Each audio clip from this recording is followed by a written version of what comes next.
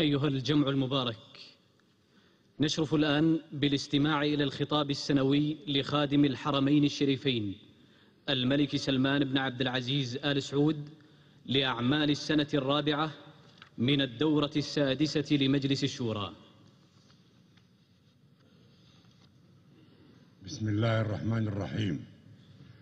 الحمد لله والصلاة والسلام على رسول الله.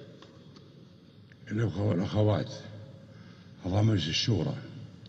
السلام عليكم ورحمة الله وبركاته.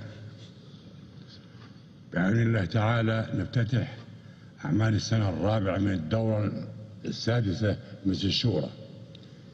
استعين الله سبحانه أن يبارك في الجهود ويجعلها خالصة لوجه, لوجه الكريم.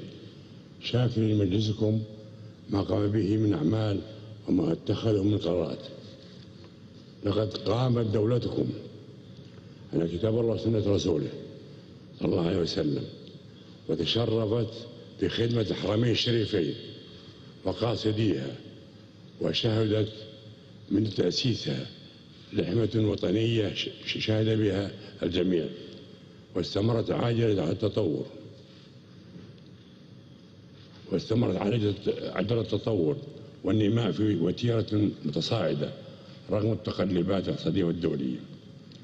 أيها الإخوة والأخوات إدراك من حكومتكم أن الإنسان السعودي هو هدف التنمية الأول فقد واصلت اهتماماتها بقطاعات الصحة والتعليم والإسكان والتوظيف والنقل والاقتصاد وغيرها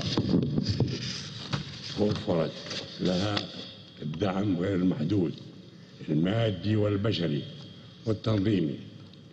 ويأتي على تنظيم وجد دعما لرسالة التنمية. وصارت المملكة في سياستها الخارجية على المبادئ الثابتة الملتزمة بالمواثيق الدولية المدافعة عن القضايا العربية والإسلامية الرامية محاربة الإرهاب وتحقيق الأمن والاستقرار في العالم الساعي إلى توحيد الصفوف لمواجهة المخاطر. والتحديات التي تحيط بالأمتين العربية والإسلامية وفي خطاب موزع عليكم استعراض سياسة الدولة الداخلية والخارجية وما حققته من جدات. أسأل الله عز وجل أن يوفق جميعا لكل خير والسلام عليكم ورحمة الله وبركاته.